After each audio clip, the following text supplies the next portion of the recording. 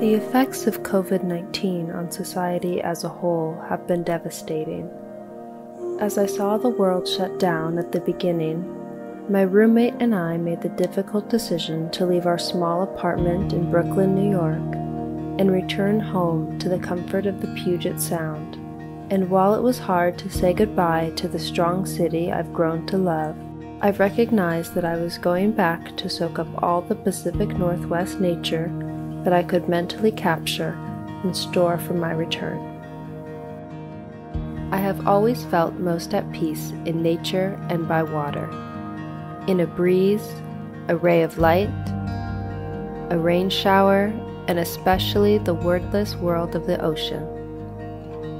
I love the vastness, the calm, the sense of peace I feel when it's just me and the waves there is an essence of freedom about the ocean that cannot be replicated.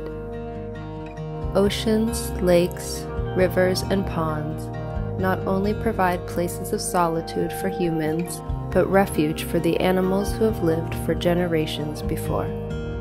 There is a simple feeling of being in nature, of feeling safe, excited, curious, and calm that happens all at once and puts me in a relaxed trance.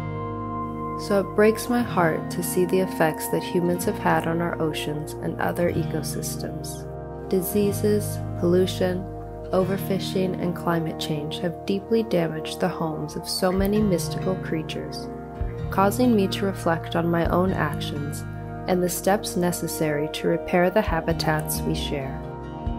We all have a duty to not only enjoy and respect nature, but to preserve and protect it. During these difficult times, we humans need fresh air more than ever, and nature breaks are now essential to our mental health. With limits on our ability to travel for the foreseeable future, it is so important that people start to care for their local community gardens, forests, and oceans and appreciate what's right in front of them. I hope that more people, especially those in big cities, start to realize that we all benefit from clean air and water. Not only does it allow for more healthy marine life to thrive, but it makes us more healthy too and creates a space we can all continue to enjoy for generations to come.